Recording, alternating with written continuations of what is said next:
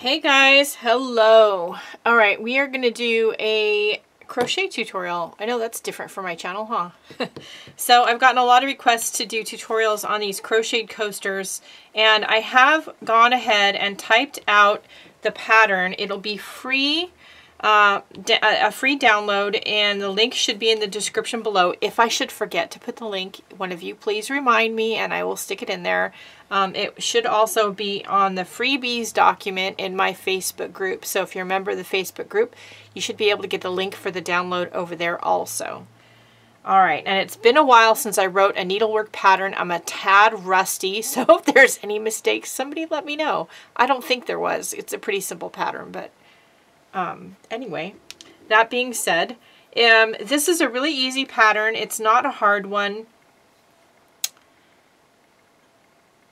And I'm going to show you if you've never crocheted before. I'm going to just really go over the basics. Um, you need a ball of cotton yarn. Now there's lots of different kinds of cotton yarn at the store. Um, frequently you're going to find Lily Sugar and Cream or Peaches and Cream at the store. Um, Hobby Lobby has this brand by Crafter's Secret. Um, they all work about the same. That being said, I do prefer the Sugar and Cream. This yarn has a better, mm, for lack of a better word, um, heft to it. It's, it's, although they seem to be the same weight yarn and they use the same crochet hook, this one's a little bit on the thin side.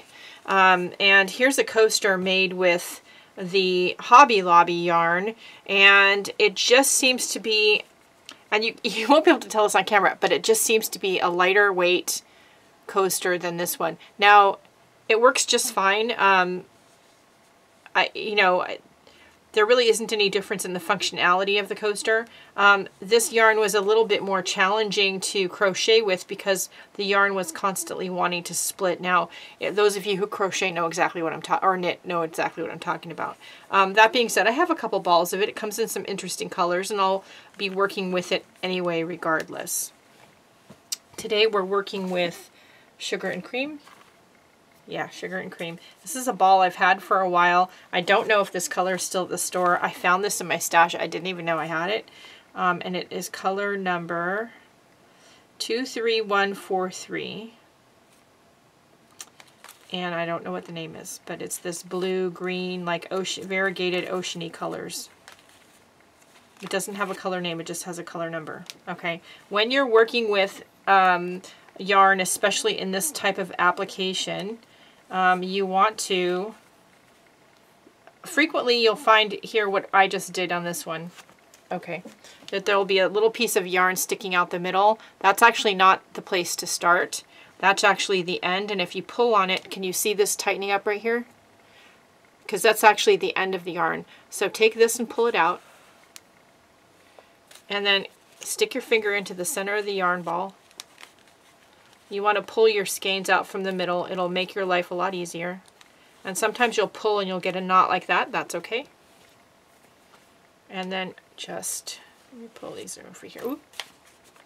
Just do this until you find that beginning piece of yarn and crochet from there. As you crochet, it's going to pull out of the center of the ball and going to make your life much easier and things will be less tangly. And you'll thank me for that little tip later. um, okay, I'm not going to use this one right now, so we're going to wind that back up. I'm using this one. I've been using that one. I've done three coasters. Each ball makes about four coasters, um, which is a great little set of, um, to give as a gift or to sell at a craft fair. You're also going to need an appropriate crochet hook. Now, most of these yarns will, all, all yarn will say on the label somewhere the recommended crochet hook and knitting needle size for that ball of yarn. Um, the sugar and cream says it right here.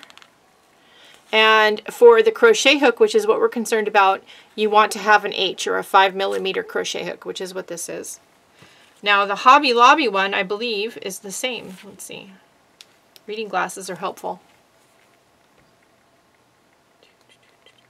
Yes, they both take a size H yarn. Most of your cotton yarns of this type are going to um, take an H. You're also going to want a tapestry needle. Looks like this. It'll be in your needlework aisle with your yarn and crochet hooks. And you're going to need a little pair of sharp scissors. All right. So we're going to start. I'm going to zoom in a little bit so you guys can see. Okay. So you're going to start with a slip slip knot. So you're going to make a loop and then reach in the loop and grab that end of yarn right there and pull. Stick your crochet hook in there and then pull to tighten. Whoops, right there, like that. So it's tight, it's tight around the crochet hook, right? I'm gonna hold my end coming out of the ball in my hand here. I'm gonna hold the tail down with my thumb and middle finger. And then I'm gonna chain three by taking the hook that's in the loop of yarn and reaching around and grabbing the yarn end coming out of the skein and pulling it through, which creates a new loop. And then we're going to do it again and again. Then we're going to take our crochet hook and we're going to stick it into this first chain that we made down here.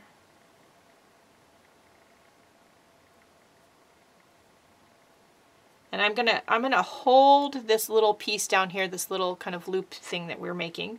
I'm gonna grab the yarn and I'm gonna pull it through both loops on the crochet hook until I've closed it and now we have a loop of yarn. Then I'm gonna chain two and I'm going to reach around and wrap the yarn around the hook, take the end of the hook, stick it in that loop that we made, pull more yarn through. So now we have three loops on the hook. Grab some new yarn, pull it through two of those loops. So now you have two loops on the hook. And then reach and grab some more yarn and pull it through the remaining two, two loops so you have one loop on the yarn. You just made your first double crochet and that chain two counts as your first double crochet so you have two. We need to do this and we need to have 12 double crochets in this loop of yarn. So I'm going to do that. And you'll notice as I'm doing this, I'm catching that initial, oops, cut edge of yarn in my stitches so that I don't have to weave it in later. So I have this extra, you know, bit that's the cut end you can either weave it in later with your tapestry needle or you can do what I'm doing. I'm just laying it around the, the, uh, that initial chain three and capturing it in my stitches as I'm crocheting. So I don't have to worry about later about weaving it in. And I've lost track of how many that is. One, two, three, four, five. Six, seven, eight, oops, nine, ten. Now sometimes when you get to the end you have to grab that initial chain two, grab the last double crochet that you made and just kind of pull, push and pull so you make a little bit more room.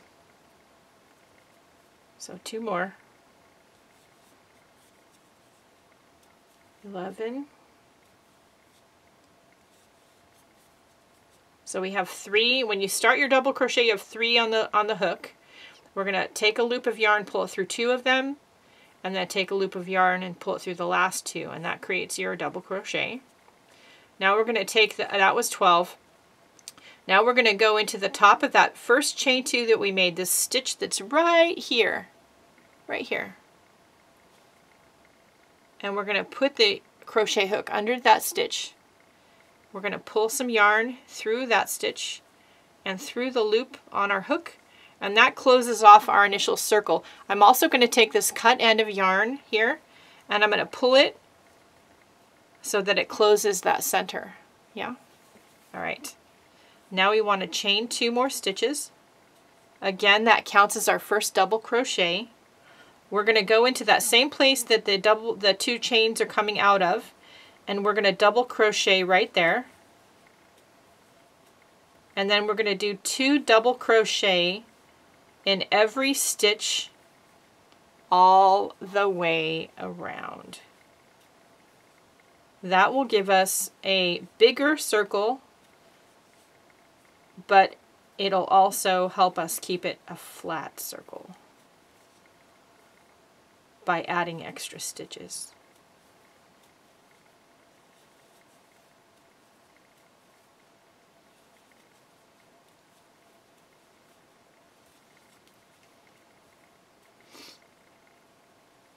So it should look like that. I love the variegated yarn. Of course, this yarn comes in lots of solid colors too. And you can, of course, do it in any color that suits your decor or suits your mood if you're doing them for a show. I have lots of wood furniture, so I have these all over my house.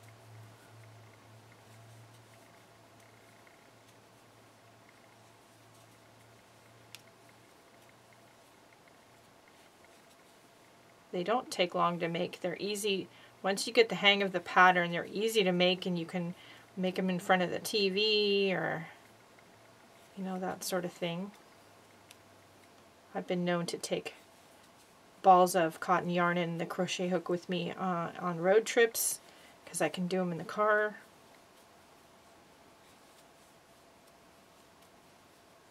So at this point I've made a million of them. Now when you get to the end you have your two crochet, two chains here for your first double crochet. You have this extra funky stitch here. Put two crochet, two double crochets in there. That counts as a stitch.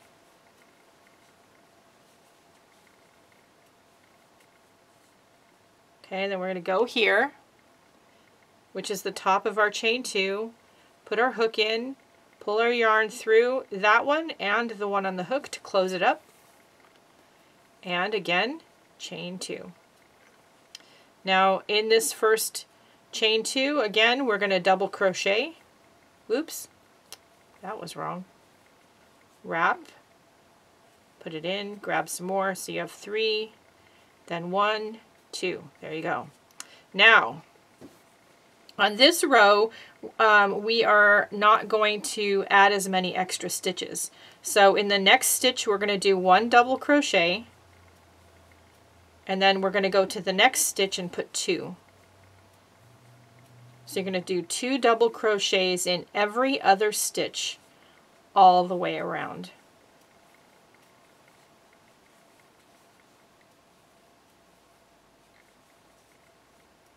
I do sometimes lose track of where I'm putting stitches and my count comes off funny at the end and then I kind of have to fudge the edging but I usually can make it work so nobody notices but me. so if that happens to you, don't feel bad. Frequently, you know, it happens because I'm talking to somebody, uh, you know, like I'm doing right now on camera. and uh, or my husband will ask me a question while I'm counting and then I lose track of what I've done. Happens a lot, more than I'd like to admit.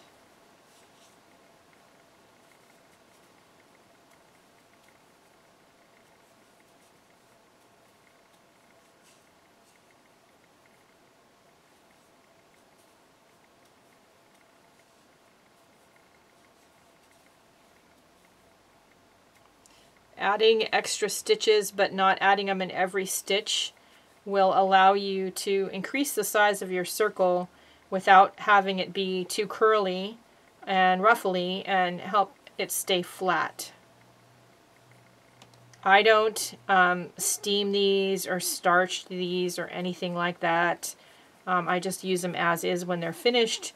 Um, of course, if you're a needle worker and um, you know what I'm talking about as far as steaming and starching and that kind of stuff. You can do that, but I, I just use them as is. Uh, the cotton yarn is a good choice for coasters because it's very absorbent. Um, so it's going to absorb the liquid that comes off the glasses. I have lots of antique and vintage pieces of furniture and um, it seems to protect them very well from getting water rings.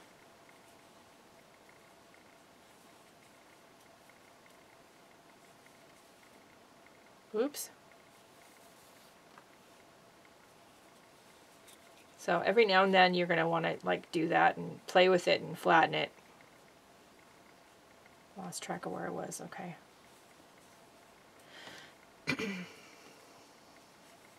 so this is going to be a longer video because I don't really want to cut any of this out. For those of you who aren't familiar with crocheting and don't really know how to crochet, you can slow the video down or pause it wherever you need to. Um, and I do think if you guys would like, you can leave something in the comments below. We can do a live tutorial on creating these coasters if you would like. So here's that funky stitch right there. We're going to put a double crochet in there. Whoops.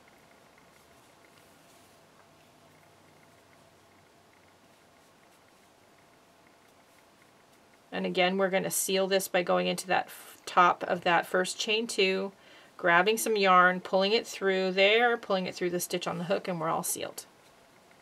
Now we're going to, again, start with a chain two, double crochet in that same space where the chain two is coming out of. Now on this row, we're going to do even fewer extra stitches. So I want you to count one double crochet, two double crochet, and sing, eh, one here, one in the next stitch, and then in the third stitch, you're going to do two of them. So one,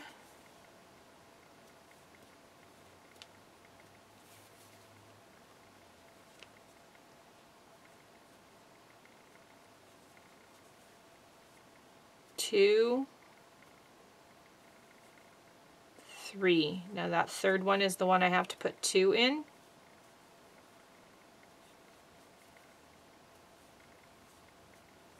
There we go. So we're going to do that all the way around.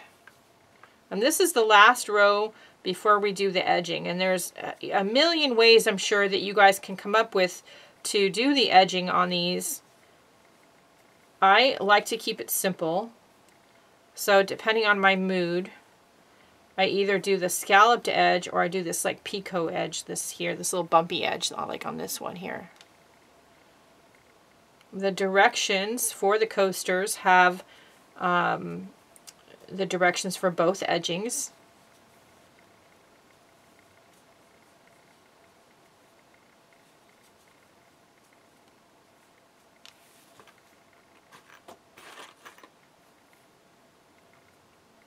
lost track of where I was. Let's see. Okay.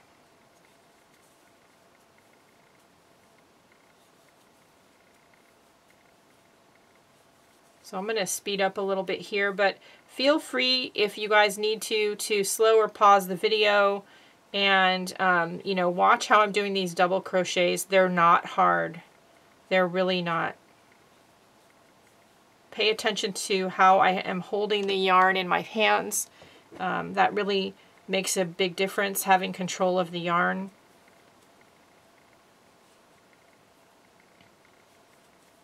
You want to have a firm tension, but it doesn't have to be too tight. But you don't want loose floppy stitches.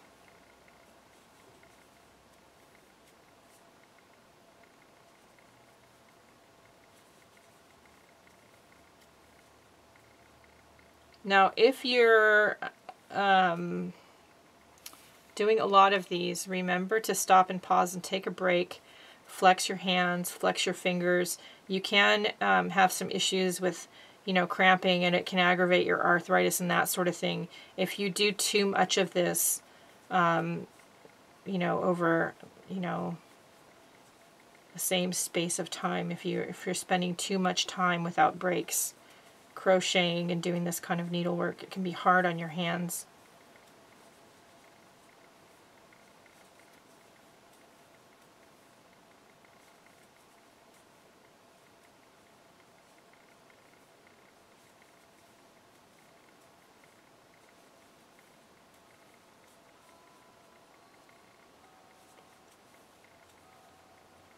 And if you're an experienced um, crocheter, of course, you could do these in squares or other shapes.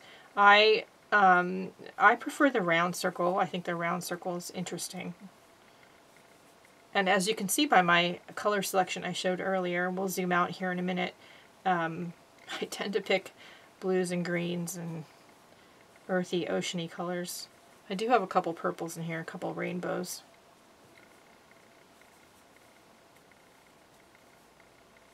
Okay, we're nearing the end here, whoops, of this round. So I just ended with a double crochet here and we have our started double crochet over here and there's two stitches in between so we're going to do a double crochet in one a double crochet in the other one and that ends that row. So then we're going to go to the top of this chain the ch beginning chain two pull the yarn through there pull the yarn through here and that seals up that row so now you would do the edging, uh, whatever edging that you were attracted to doing. This is the one I've been doing lately, which is like the picot little bumpy edge. Um, you also can do a scalloped edge. Um, I'm going to show you how to do the scallop on here first, then I'm going to rip it out and I'm going to do the other one because I want to finish this set of four coasters. Um, so if you were going to do the um, scalloped edge on your coasters, you would start again with a chain two. In that same space where the chain two is coming out of you would do six that chain two again counts as a double crochet. So you would do six double crochet in that same space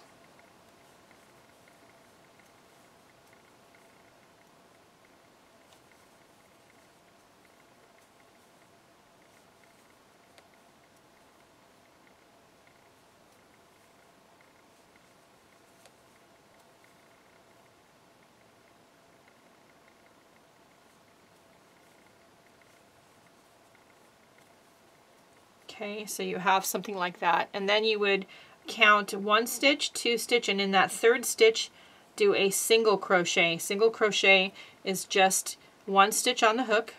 You're going to put the hook through that third stitch, grab the yarn, so you have two stitches on the hook, and pull the yarn through both stitches.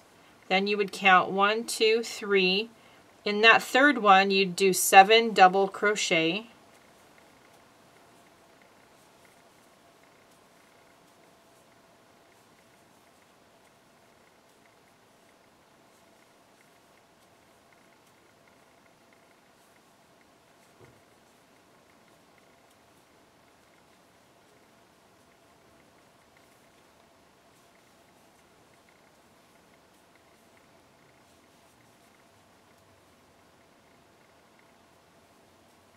And then again you would count one two three and then do a single crochet and you would do that all the way around your coaster and it would create the scalloped edge like on this one when you end this row you would end by doing a slip stitch um, right here again in the top of that beginning chain two so that it just looks like a seamless row all the way around of scallops.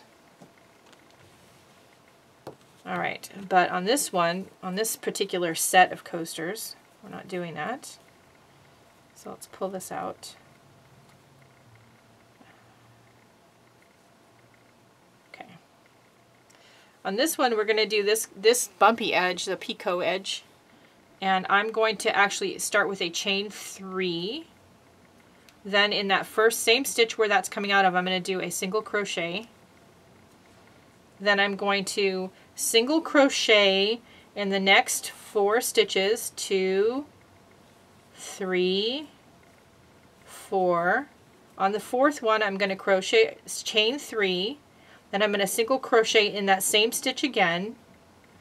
Then I'm going to count eh, at four single crochet. One, two, three, four, chain three,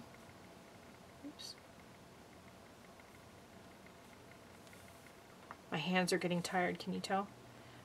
Single crochet in that same stitch, then single crochet in the next four stitches.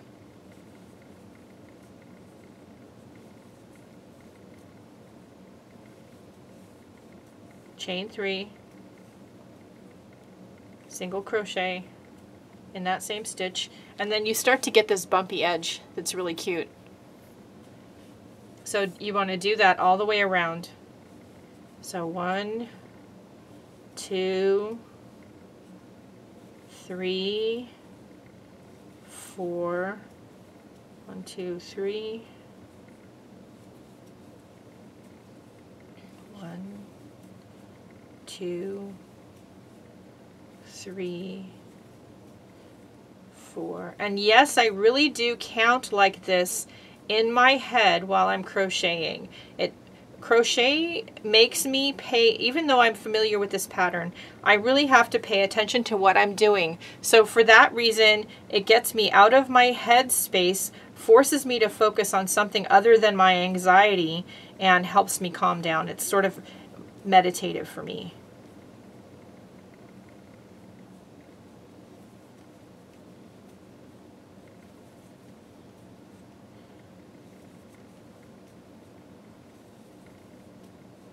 And when I used to do lots of arts and craft shows, I used to sell lots of little crocheted things like this.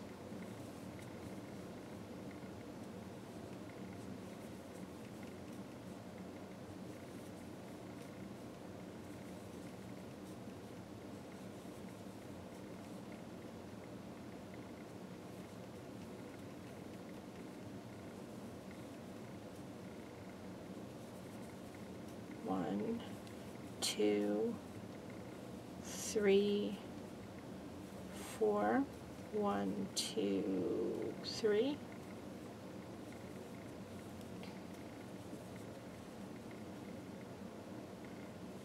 One, two, three, four, one, two, three.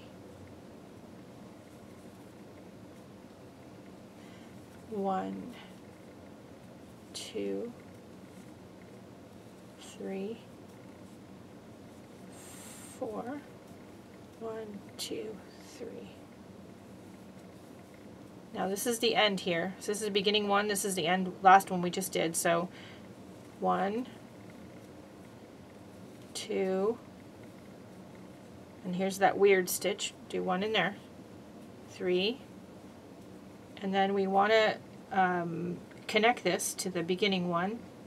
So uh, on this, we're going to pull this up a little bit so I have a place actually to stick the crochet hook in to the base of that first bump.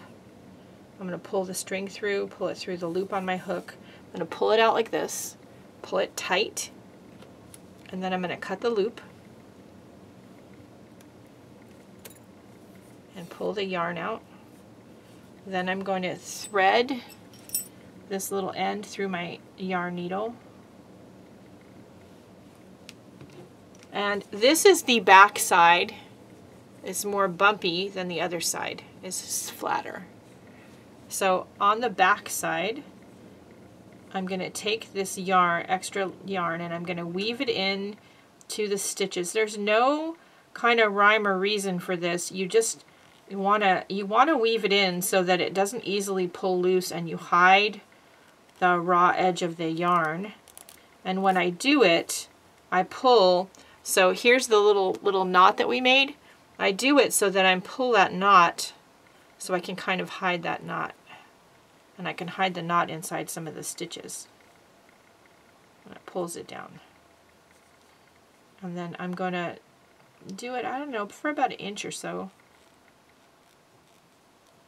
You can go any way this is never going to be washed, so, um, or it's not an, an item that would be worn, so you just really want to hide the end. If you were going to have it be a garment that's worn and washed, you would want to weave it in and out some of the stitches, not straight across, so that it's really locked in there. Okay, and then cut. And cut this one. And then you done. You have a set of four coasters. I'm going to zoom back out. So then you have a set of four coasters. They make a nice Christmas gift um, or other gift. They make a great item to sell at the craft shows. Um, you really don't have enough yarn left on here um, to do any to do another coaster, maybe a small one. Uh, but what I do is I just um, wind up the leftover yarn and make a make a ball.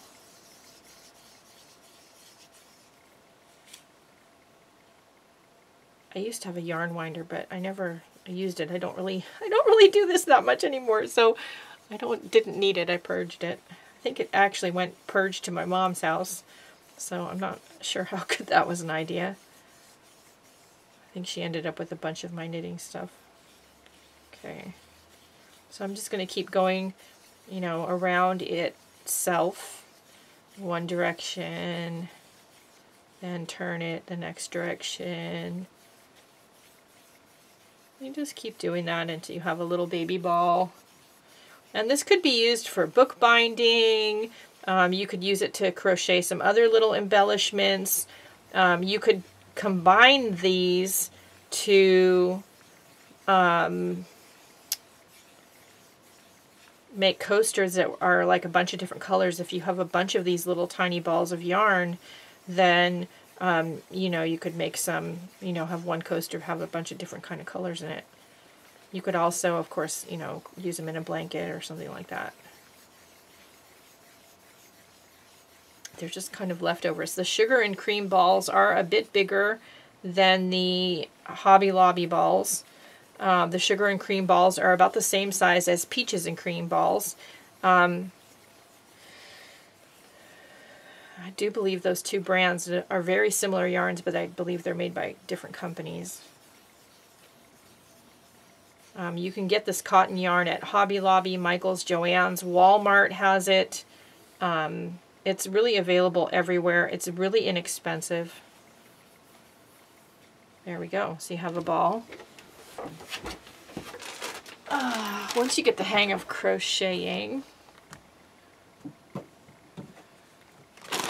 here's a set. Here's a set that I made the other day and I just take a piece of the leftover yarn and tie four of them together. So I would just take this leftover yarn and just poke it through one of the coasters. Whoops. There we go.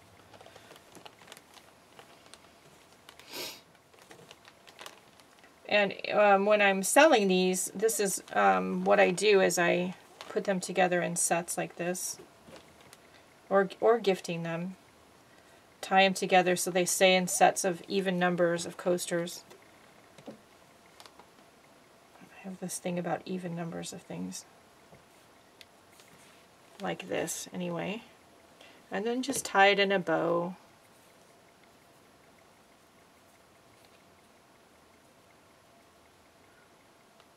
You, of course, could wrap them up in fancy packaging if you wanted, but this is the easy way. And then you have a couple of sets of coasters to sell. You also can use, you know, the same kind of an idea. And these are, here's some of the balls from other, um, some of the other yarns. So this is left over from one of the Hobby Lobby balls, and this is left over from that sugar and cream ball. So you can see the different amount of yarns that are left over at the end. That being said, this is also a sugar and cream yarn and it's just a different color. So each of the balls aren't all created equally. Some of them, um, because of the color or I don't know what, they have different amounts of yarn in them. So um, I just save them all. I even save these because, you know, you could put these into some gel medium on a canvas or something. They make interesting texture. You can, um, you know, crochet with crochet thread and crochet some little embellishments. Um, and these would be great on a journal cover. These are all things that I found that I crocheted about a million years ago. I forgot I had them. I used to sell this kind of thing in the gift shop. This actually somebody made for me. It's actually to cover an Easter egg. Isn't it cute? Um, doilies and all kinds of things. I forgot I actually had these. Stars. Um, some of these have been starched um, you can tell on this one how nice and flat and even it's laying. And then like that star, how not, how all curly it is because this has been starched and ironed. And you can also take the idea of the circle and just keep going until you have a bigger circle like this one and create a dishcloth or a hot pad. So this is some ideas of what you can do with all of that old cotton crochet yarn you may have in a corner somewhere in your stash or maybe you want to just pick up crocheting and try your hand at it and make some of these as gifts. Either one is a good idea. Let me know in the comments below if you would like for me to do a live crochet tutorial on making these and uh, we'll take it from there. Don't forget to do the most important thing. Besides supporting my channel if you can, please like, share, and subscribe. Shop in my Etsy shop to support the channel. Um, or if you can't do that, go over to my YouTube channel's main page and hit that fan funding button. Um, also, go out and have a great day and do something nice for yourself, of course, because you deserve it. You know you do, and I know you do too. All right, that's it, everybody. I'll talk to you later. Bye, guys.